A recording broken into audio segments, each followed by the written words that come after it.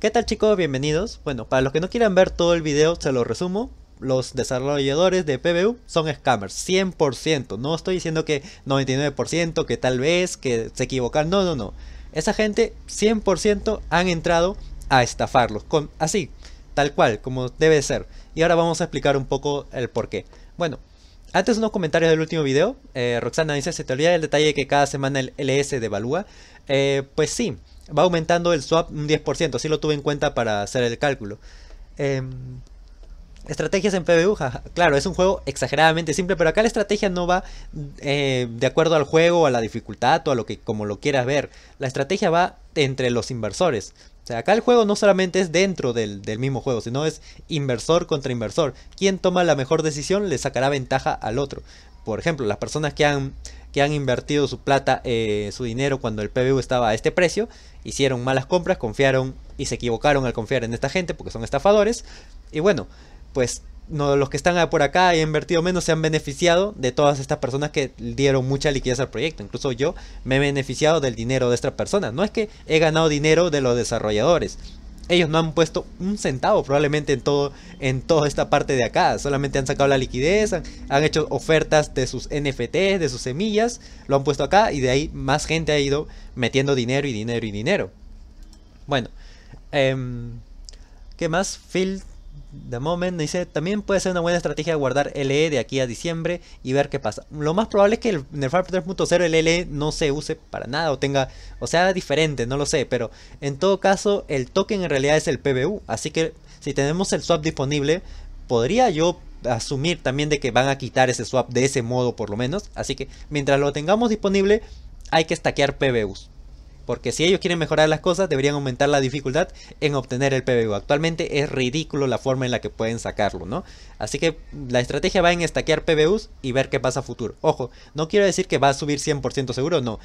De hecho, las cosas pintan exageradamente mal. Lo más probable es que el proyecto fracase, pero... Uh, no, ¿qué proyecto? Que la estafa que se ha montado acá la dejen caer por último hasta los suelos, hasta el cero absoluto y ya está. Sin embargo, teniendo en cuenta pues el precio y si es que hacen algo, un poquito, un cambio, alguna mejora, el precio debería impactar de forma positiva, así sea por especulación. Entonces, pues yo estoy entrando en el precio más bajo y sacando el PBU, digamos minando el PBU con el costo más bajo. Más bajo. Cada planta que tienen dentro del juego es como una tarjeta para minar alguna cripto lo minas pero al precio más bajo posible. O sea, yo no estoy dispuesto a pagar a 0.6 dólares por el PBU, eso ni loco lo pagaría. Solamente lo pago para obtener más PBU de un modo más barato. Promediándose más o menos, no he hecho los cálculos bien, pero sería como si estuviera pagando por cada PBU 0.1 dólar. O sea, la décima parte de un dólar. Bueno. Sebastián parece buen video hermano. Yo no haría eso debido a que el PBU seguirá devaluando. Es posible, es lo más probable de hecho. Quizás el retorno de PBU sea bueno en un mes, pero el retorno en dólares quizás exactamente. Exactamente. Acá no estamos hablando de, dinero, no he hablado de que vamos a tener un reingreso en dólares, no. Lo he visto como PBU, ¿no? Lo que yo quiero ahora estaquear es el PBU para ver qué pasa, del modo más barato posible. Resalto nuevamente que lo considero de muy alto riesgo porque esto está controlado por estafadores, ¿no? Hay que decirlo con esas palabras. Así que ellos literalmente si quieren pueden dar de baja este proyecto y todo, absolutamente todo lo que tienen pues queda en, en cero, cero, cero. Bueno, Ahora sí pasemos a, pues a aplicar por qué es esto de la, de la estafa, ¿no? Que cuál es más o menos la historia del PBU. Hace tres meses, creo que por acá tengo el white paper, no sé, su roadmap, empezaron pues con esto, pero no se tenía planteado, por lo menos creo que esto lo, una vez que empezó a entrar la gente, empezaron a inyectar dinero, porque a pesar de que al inicio su, su roadmap, su white paper no eran este, no eran llamativos para nada, por lo menos muchos influencers le hicieron mucha publicidad. No lo voy a leer, no lo voy a leer todo, pero le hicieron mucha publicidad y pues bueno, decían es un gran proyecto que tiene mucho futuro, que interesante, yo estoy invirtiendo y mucha gente se anotó porque ofrecía, no, a ver, no nos engañemos, la gente invirtió acá porque Axie Infinity tenía una barrera mucho más alta y acá estaba más baja. A eso es a lo que apuntaron lo de Planta vs Undead solamente a dar una barrera de entrada más baja para que más gente invierta porque no le alcanza o tienen miedo de invertir tanto en Axie Infinity. Y querían, estaban con todo el boom de los NFTs. Esa fue su intención. El white paper lo cambiaron y luego empezaron a hablar de la blockchain, lo agregaron y tal. Al final terminaron en incumplir la mayoría de, las partes que proponían. Y bueno, eso es una estafa, porque vamos a ver a lo técnico. ¿Qué es una estafa? Por acá tengo la definición. Una estafa es un delito que consiste en provocar engaño. No te está diciendo que te van a robar. Una estafa no es simplemente agarrar el dinero e irse corriendo. No, una estafa es provocar engaño. ¿Y qué pasó acá cuando cambiaron su white paper y empezaron a agregar todo eso y empezaron a regalar plantas de ese modo?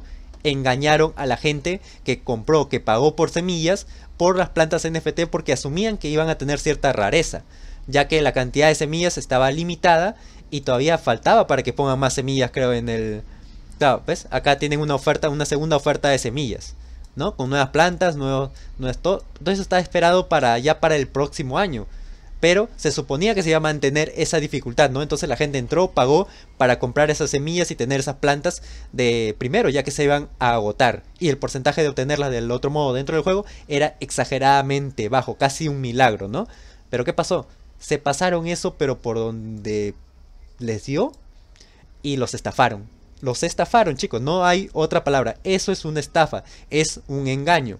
Y bueno, ¿con qué más dice acá? Con ánimos de lucro y o un perjuicio patrimonial. Bueno, han lucrado, obviamente, se han llevado millones. Este. No estamos hablando que, ok, bueno, se han llevado 10 mil dólares, 20 mil dólares, pero no, se han llevado millones de dólares de la gente que daba liquidez para que se desarrolle el proyecto es, pongámonos un, ejemplo de algo para que sea más, más entendible. Miren, Viene una persona y le dice, ¿qué chicos?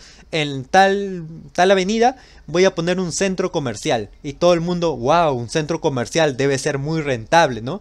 Y bueno, pueden, y abre eh, sus inversiones. Metan su dinero que voy a poner un centro comercial. Vamos a tener este piso de venta de tal, piso acá ropa, piso acá comida y tal. Todo muy bonito, ¿no? Que a la gente le gusta. Dicen, wow, un centro comercial, pues oye, va a ir bien, ¿no? Entonces empiezan a meter dinero. ¿Y qué pasa? Pues al mes le dicen, ¿sabes qué chicos? No cambié este. Y bueno, ahí abrí un chifa. o sea, su centro comercial termina siendo un chifa de 2x3. Eh, ¿No? Y bueno, ¿y qué pasó? Con todo ese dinero que la gente invirtió para el centro comercial, agarraron y se abrieron un banco, una caja. ¿No? Y empezaron a hacer préstamos y tal, empezaron a cobrar comisiones. Eso es lo que ha pasado. Se han agarrado su dinero, lo han usado para otro proyecto y listo. A ustedes les han dado pues una basura para que simplemente no estén molestando mucho o para los que sean un poco menos inteligentes, pues agarren y empiecen a decir, "No, pero no fue una estafa porque ellos han sido claros y han estado este anunciando por acá cuántos PBU van a vender. A mí que me importa que me estés anunciando cuántos PBU vas a vender si igualmente te estás llevando el dinero." ¿Entienden? A mí, ¿de qué me sirve que me avisen? A ver, ¿de qué te sirve que venga? A ver, te van a saltar, te viene un ladrón ahí, te encañona y te dice, oye, ¿sabes qué? Este, me voy a llevar tu plata. ¿Le vamos a agradecer a esa gente? Claro que no, claro que no. Bueno, pasó lo que pasó, el PBU se ha ido a una desgracia y ahora tienen la famosa Factory Chain, que lo tengo por acá. Ok, perfecto. ¿Qué, van a hacer acá? Ellos claramente no están apuntando a crear un metaverso que sea rentable donde los jugadores, según su destreza, según su inversión, puedan recibir una remuneración también por su esfuerzo, ¿no? Dentro de un juego, que eso es algo muy difícil, pero voy a hablar de, dentro en otro video también de eso. Bueno, pero no están apuntando a eso. Ellos lo que quieren acá es que, miren, ya tienen eh, como 5 juegos creo listados acá. No sé dónde, por dónde puede estar esto. No sé en qué parte, en qué parte lo, puedo ver acá. Pero creo que ya tienen 5 juegos o unos cuantos juegos listados a. Listados en este. Pues en este. ¿Cómo se llama? En este Factory Shane, ¿no? Sí, de hecho tienen 5 juegos acá listados. Entre ellos el Planta vs. Undead PvP. ¿Para qué?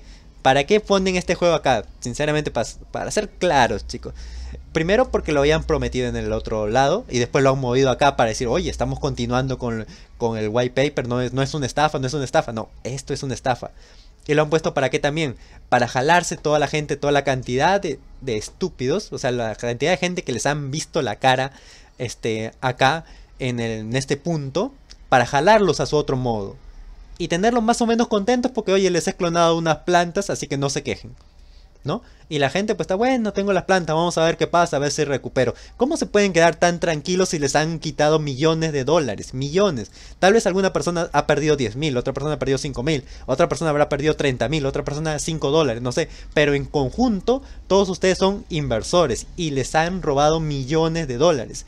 Esto, para suerte de ellos, no puede ser denunciado, ya que no está, este, no hay una normativa en cuanto a proyecto o a, estos, este tipo de, de proyectos, por así decirlo, ¿no? No hay nadie que los fiscalice ni nada por el estilo. Así que es un robo, digamos, limpio para ellos. Por eso han sido inteligentes y no han mostrado sus caras en ningún momento. No sabemos quiénes son, no sabemos cuáles son sus nombres, están completamente ocultos desde el primer día. Cosa que varios juegos, incluso por al ser más pequeños, no han este no lo han hecho, o sea, se han mostrado de frente, a pesar de que el juego les vaya mal, pero están dando la cara. ¿Por qué? Porque su verdadera intención es sí, este, tratar de sacar adelante el proyecto como lo están planteando. Es por eso que muestran su cara, ¿no? Eh, bueno, asumiendo las consecuencias de también de sus decisiones, porque están con las decisiones, con las esperanzas de muchas personas. Y bueno, Dicho esto, ok, si ellos no piensan ganar acá por la rentabilidad que puede ofrecer un... A ellos les vale, les da igual cuánto puedan ganar, cuánto pueden perder dentro de los juegos. ¿Qué es lo que le importa? Que los juegos tengan movimiento, que tengan transacciones. Y con estas transacciones, a pesar de que sean muy económicas dentro de este, de estos, de este exchange, de este factory chain, van a seguir ganando una cantidad muy fuerte de dinero. Y piensan ponerlo tal vez tipo un Steam, algo así, donde cada vez más juegos se registren porque las comisiones son incluso más baratas que la, que la de la Binance. ¿no? Y que varios juegos NFT vengan, se metan acá proyectos nuevos, proyectos chiquitos que, que valga un mes, les da igual a ellos. La cosa es que el dinero entre y se cobre alguna comisión. Y cobrarle a todo el mundo una comisión y ya les da igual qué proyecto sea. ¿Se entienden? Se van a volver millonarios con esta Factory Chain. ¿Qué se puede hacer? ¿Qué se debería hacer? ¿Qué sería lo lógico? Que nadie, absolutamente nadie, meta un solo dólar a su factory chain. ¿No? Que empiecen a arreglar, porque tengan en cuenta algo, y esto no lo puede negar nadie, nadie, nadie, ningún analista, mm, absolutamente nadie, ni siquiera un desarrollador del, del Planta vs. Undead y tal. Nadie puede negar que si con la liquidez la cantidad de dinero que tenían acá para retirar, si lo hubiesen reinvertido en mejorar su proyecto, lo hubiesen hecho con total seguridad. Si hubiesen, ok, em, quieren hacer una factory chain tal, pero ligada a este token, sería genial. Si quieren hacer este, incrementar o meter el modo PvP para acá y que funcione, estaría genial. Cualquier cosa que hubiesen tratado de hacer para este modo, estaría genial. Pero ¿qué pasó? Nada lo destinaron a otros proyectos, a otras cosas que no tenían nada que ver, bueno, que ahora no tienen nada que ver con el PBU. ¿Se dan cuenta?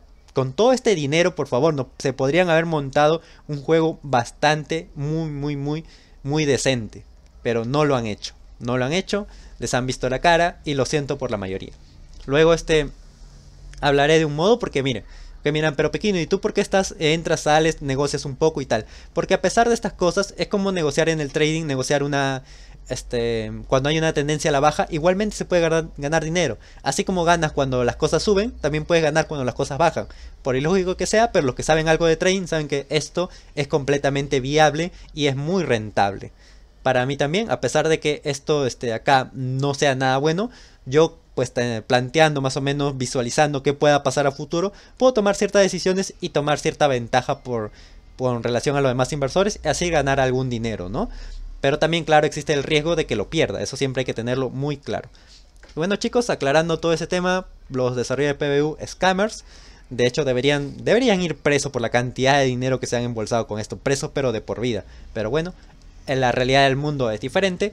Y veamos qué tienen en cuenta, ¿no? Eso sí, un consejo por adelantado. No inviertan en la Factory Chain. No inviertan. No inviertan pensando en ganar porque dudo mucho. Casi, eso sí, no les voy a dar una ventaja de un poquito, ¿ya? Vamos a decir que es 99.99% seguro de que su interés no es hacer un metaverso rentable, económicamente sostenible. Simplemente quieren cobrar las comisiones. Por eso no inviertan dinero en ningún proyecto que esté dentro de acá. Allá ustedes. Me puede equivocar, digamos que el 0.0001% me, este, sea cierto y ellos, pues bueno, logren acá lo que lo que aún ningún juego, ni siquiera Axie Infinity ha logrado, lo empiecen a lograr acá con varios juegos y bueno, se vuelva rentable para todo el mundo, ¿no? Pero no pinta bien, no pinta bien y de verdad, no inviertan. Si quieren invertirle, inviértale muy poco, pero muy poco, dependiendo que también lo vean el juego y esperen primero a que se, a que se desarrolle o algo. La verdad, personalmente, no voy a meter un solo centavo a la Factory Chain. Y bueno, nos vemos en un próximo video. Bye bye. Ah, para aclarar, para aclarar, porque no es a salir después o yo me meta a probar el modo PvP por ahí por curiosidad y diga, pues aquí no, al final sí metiste dinero, no. No voy a meter nada de mi dinero.